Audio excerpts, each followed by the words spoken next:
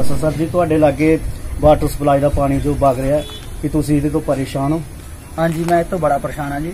ਮੈਂ ਦੋ ਤਿੰਨ ਦਿਨ ਪਹਿਲਾਂ ਜਿਹੜੀ ਆ ਜੇਈ ਸਾਹਿਬ ਨੂੰ ਫੋਨ ਕਰਕੇ ਕੰਪਲੇਂਟ ਕੀਤੀ ਸੀ ਤੇ ਉਹਨਾਂ ਕਿਹਾ ਵੀ ਭੈਬ ਦੀ ਮਿਹਨਤੀ ਹੋ ਚੁੱਕੀ ਆ।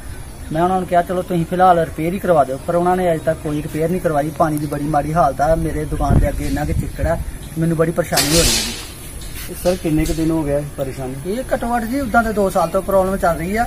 ਪਰ ਇਸ ਲਈ ਕੋਈ ਮਹੀਨੇ ਡੇਢ ਮਹੀਨੇ ਤੋਂ ਪਰਮਾਨੈਂਟ ਪਾਣੀ ਜਿਹੜਾ ਵਗ ਰਿਹਾ ਜੀ। ਤੋਂ ਜੀ ਸਾਹਿਬ ਦਾ ਕੀ ਜਵਾਬ ਸੀ? ਜੀ ਸਾਹਿਬ ਕਹਿੰਦੇ ਸੀ ਕਿ ਰਿਪੇਅਰ ਕਰਵਾ ਦਿਆਂਗੇ ਦੂਸਰੇ ਦਿਨ ਜਦੋਂ ਮੈਂ ਫੋਨ ਕੀਤਾ ਕਹਿੰਦੇ ਕੋਈ ਨਹੀਂ ਰਿਪੇਅਰ ਕਰਵਾ ਦਿਆਂਗੇ ਪਰ ਅੱਜ ਤੱਕ ਉਹਨਾਂ ਕੋਈ ਰਿਪੇਅਰ ਨਹੀਂ ਕਰਵਾਈ। ਤੋਂ ਜਿਹੜੇ ਜੀ ਸਾਹਿਬ ਦੇ ਮੁਲਾਜ਼ਮ ਹੈਗੇ ਆ ਉਹਨਾਂ ਨਾਲ ਕੋਈ ਸ਼ਿਕਾਇਤ ਹੋਈ? ਹਾਂਜੀ ਉਹਨਾਂ ਨੂੰ ਵੀ ਕਈ ਵਾਰੀ ਕਿਹਾ ਜੀ ਪਰ ਉਹ ਇਹ ਗੱਲ ਤੇ ਗੌਰ ਹੀ ਨਹੀਂ ਕਰਦੇ। ਕੀ ਕਿਹਾ ਉਹਨਾਂ ਨੇ?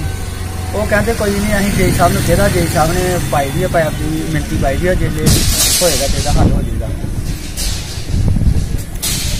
ਦੇਖੋ ਜੀ ਵਾਟਰ ਸਪਲਾਈ ਕੋਚੀ ਜਾਂਦੀ ਵਾਟਰ ਸਪਲਾਈ ਬਹੁਤ ਹੀ ਮਾੜੀ, ਬਹੁਤ ਹੀ ਮੰਦੀ ਹਾਲਤ ਹੈ। ਇਹੋ ਪਾਣੀ ਲੋਕਾਂ ਦੇ ਘਰਾਂ 'ਚ ਜਾਂਦਾ ਹੈ। ਇਹ ਜੀ ਪਿੰਡ ਖੋਚੀ ਚੱਕ ਵਾਟਰ ਸਪਲਾਈ ਦੀ ਇੰਨੀ ਮੰਦੀ ਹਾਲਤ ਹੈ ਕਿ ਇਹੋ ਪਾਣੀ ਲੋਕੀ ਪੀਣ ਤੇ ਮਜਬੂਰ ਹੈ। ਦੇਖੋ ਜੀ ਛੋਟੇ ਛੋਟੇ ਕੀੜੇ। ਇਹ ਦੇਖ ਲਓ ਸਾਡੀ ਵਾਟਰ ਸਪਲਾਈ ਦੇ ਲੋਕਾਂ ਦੀ ਮੁਲਾਜ਼ਮਾਂ ਦੀ ਹਾਲਤ। ਦੇਖੋ ਜੀ।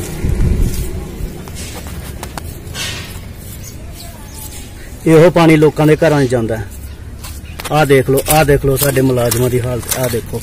ਕਈ ਵਾਰੀ ਸ਼ਿਕਾਇਤ ਕਰਨ ਦੇ ਬਾਵਜੂਦ ਵੀ ਪ੍ਰਸ਼ਾਸਨ ਸੁੱਤਾ ਆਇਆ ਅਸੀਂ ਸਰਕਾਰ ਤੋਂ ਹੀ ਮੰਗ ਕਰਦੇ ਹਾਂ ਕਿ ਇਹਨਾਂ ਲੋਕਾਂ ਨੂੰ ਵੱਧ ਤੋਂ ਵੱਧ ਇਦਾਂ ਦੇ ਲੋਕਾਂ ਨੂੰ ਵੱਧ ਤੋਂ ਵੱਧ ਜ਼ਿਆਦਾ ਕੋਈ ਸਜ਼ਾ ਹੋਣੀ ਚਾਹੀਦੀ ਕਿਉਂਕਿ ਸਿਹਤ ਨਾਲ ਖਿਲਵਾੜ ਕਰ ਰਹੇ ਆ ਲੋਕੀ।